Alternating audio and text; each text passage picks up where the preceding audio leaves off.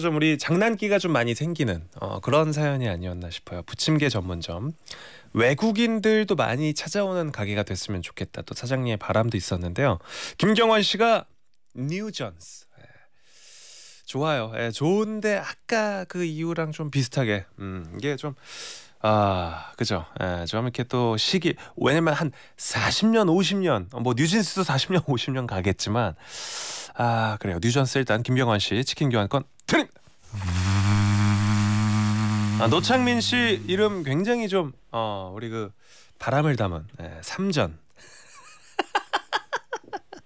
어, 어 10만 삼전 어때? 10만 삼전. 바람을 담아서 노창민 씨 치킨 교환권 드립니다. 어 이거 좋은데 약간 뭐랄까 어, 옛날 약간 90년대 가요 느낌 6263님 그녀를 만나기 100m 전 아, 좋지 않아요? 이런 거? 네, 6263님 드립니다. 이런 것도 우리 또 그 손님들이 그냥 뭐 그만전 막 이렇게 또 줄여 불러요. 그녀를 만나기 100m 전 좋습니다. 4637님 춘향전 보내셨고요. 슈베. 아, 어 이것도 옛날 프로그램인데 0607님 전파기 없는 록 슈베. 네, 좋습니다. 음. 이주현 씨가 조전식의 전전투데이.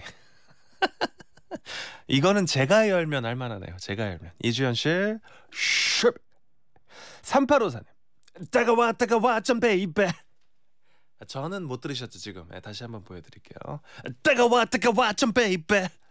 또이 노래를 부르는 가수가 잔진이기 때문에 잔진. 네, 잔진 따가와 따가와 전 baby. 3854님